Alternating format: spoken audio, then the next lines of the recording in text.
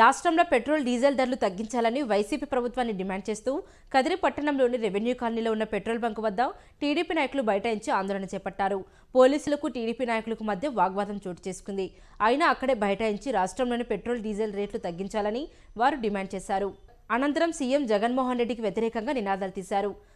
ఈ సందర్భంగా టీడీపీ నాయకుడు బండారు మనోహర్ నాయుడు మాట్లాడుతూ రాష్ట్రంలో రాక్షస పాలన నడుస్తోందని కేంద్ర ప్రభుత్వం పెట్రోల్ డీజిల్పై తగ్గించడంతో అదే బాటలో దేశంలోని అనేక రాష్ట్రాల్లో అక్కడ ప్రజలపై భారం పడకుండా పెట్రోల్ డీజిల్పై పన్నులు తగ్గించి తమ చిత్తశుద్ధిని చాటుకున్నారన్నారు. కానీ మన రాష్ట్రంలో జగన్మోహన్ రెడ్డి ప్రభుత్వం పెట్రోల్ డీజిల్పై పన్నులు తగ్గించలేమని చేతులెత్తేసి వైసీపీ ప్రభుత్వం ప్రజలను పక్కదారి పట్టించేందుకు ప్రజల సొమ్ముతో ప్రతి ప్రకటనలు ఇవ్వడం దారుణమన్నారు. వైసీపీ ప్రభుత్వం వైఖరి ఇలాగే కొనసాగితే రాబోయే కాలంలో సీఎం జగన్మోహన్ రెడ్డికి ప్రజలు తగిన గుణపాఠం చెబుతారని హెచ్చరించారు.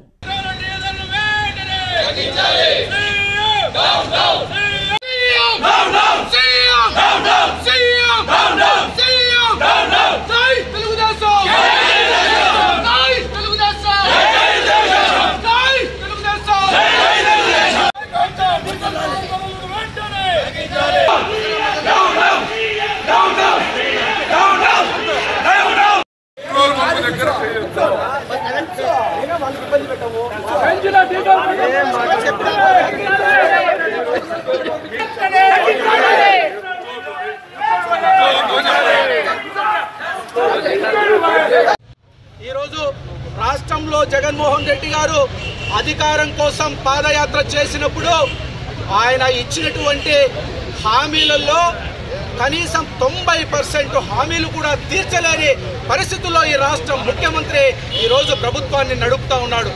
కేంద్ర ప్రభుత్వం దిగొచ్చి ఈరోజు డీజిల్ పైన పది రూపాయలు పెట్రోల్ పైన ఐదు రూపాయలు తగ్గించినప్పటికీ కూడా మిగిలినటువంటి భారతదేశంలో ఉన్న రాష్ట్రాలలో సుమారుగా ఇరవై మూడు రాష్ట్రాలు ఈరోజు రాష్ట్ర అదనపు వ్యాట్ ఏదైతే ఉందో దాన్ని తగ్గించి మరింత భారాన్ని తగ్గించేటువంటి పరిస్థితి రాష్ట్రంలో ఇతర రాష్ట్రాలు చేస్తే మన ముఖ్యమంత్రి మాత్రం వ్యాట్ నాలుగు పర్సెంట్ను చేసి గతంలో చంద్రబాబు నాయుడు గారు రెండు పర్సెంట్ వ్యాట్స్ మాత్రమే పెట్టుంటే మన జగన్మోహన్ రెడ్డి గారు దాన్ని నాలుగు శాతానికి పెంచి అదే కాకుండా రోడ్డు సెస్ అని మళ్ళీ ఒక రూపాయి పెంచి ఈరోజు ప్ర ప్ర- ప్రజలపైన సుమారుగా మూడు రూపాయల యొక్క భారాన్ని మోపాడు.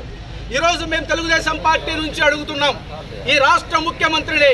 ఆ రోజు పాదయాత్రల్లోనూ చంద్రబాబు నాయుడు పెట్రోల్ డీజిల్ బాదుడే బాదుడు అన్న మనిషి.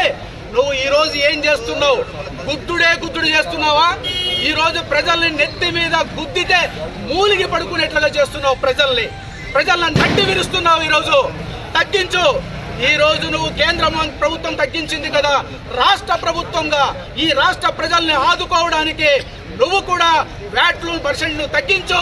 సెస్సును రూపాయి కూడా తీసేయమని మేము ఈరోజు తెలుగుదేశం పార్టీ నుంచి డిమాండ్ చేస్తా ఉన్నాం. కదిరిలో కూడా కందికుంట వెంకటప్రసాద్ గారి నాయకత్వంలో తెలుగుదేశం పార్టీ శ్రేణులు కూడా పోరాటానికి సిద్ధం అవుతాం మా అధ్యక్షుడు చంద్రబాబు నాయుడు గారి ఆదేశాల మేరకు ఈ రాష్ట్ర ప్రభుత్వ నట్టి విరిచి నడుములు వంచి పెట్రోల్ డీజిల్ పైన తగ్గించే వరకు కూడా పోరాడుతామనేసి ముఖ్యమంత్రి